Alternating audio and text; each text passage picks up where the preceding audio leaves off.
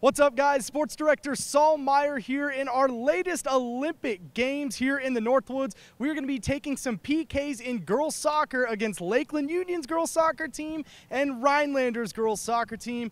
Both of these teams are really, really good and had a great season, so we'll see if the sports team can take them out.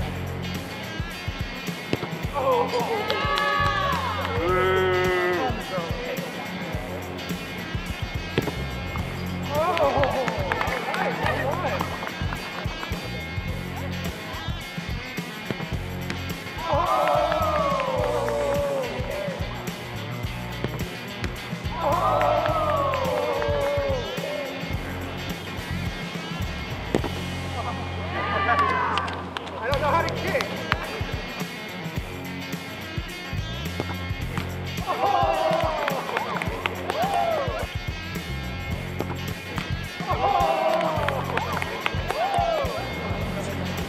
guys ready? You did this beginning.